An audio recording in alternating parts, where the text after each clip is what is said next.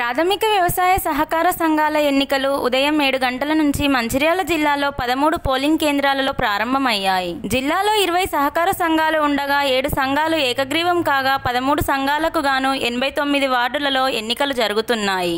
మధ్యాహ్నం ఒంటి గంట వరకు ఎన్నిక కొనసాగుతుంది. ఎన్నికల అనంతరం ఓట్ల లెక్కింపు ప్రక్రియ ప్రారంభమవుతుంది.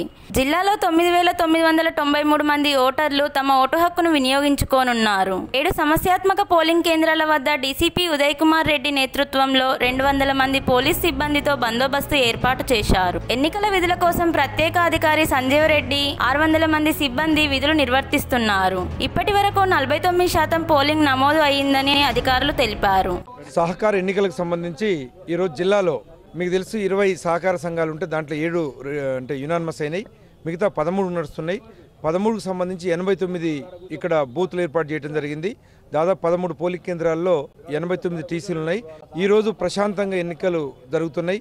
ఓటు కూడా చాలా చక్కగా మెంబర్లు సహకార సంఘాలకు సంబంధించినటువంటి మెంబర్లు ఓటు హక్కుని మంచిగా ఉపయోగించుకుంటున్నారు. నేను దాదాపుగా ఇప్పుడు నల్కి వెంకటాపూర్ వరకు ఉపయోగిస్తున్నాను అదేవిధంగా ఇప్పటి వరకు forty nine point five percent voting అయిపోయింది ఇప్పటి వరకే.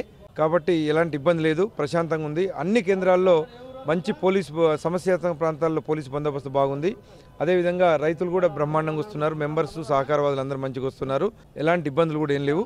ఫలితాలు ఈరోజు సెవెన్ టు వన్ పోలింగ్ జరుగుతుంది. వన్ కాగానే ఇమీడియట్గా వెంటనే కౌంటింగ్ ఉంది. కౌంటింగ్ అనంతరం వెంటనే ఫలితాలు ఉంటాయి. ఫలితాలు ఉన్న రేపు ఏంటంటే కార్యవర్గ సమావేశం సంబంధించి ఎన్నికల అధికారులు కూడా అన్ని సంఘాల్లో ఇరవై సంఘాల్లో సిద్ధంగా ఉన్నారు. ఫామ్ థర్టీన్ ఇస్తుండ్రు. ఇవ్వగానే రేపు మార్నింగ్ ఎయిట్ థర్టీకి కార్యవర్గ సమావేశం అంటే అధ్యక్ష ఉపాధ్యక్షులకు ఎన్నుకుంటుంది.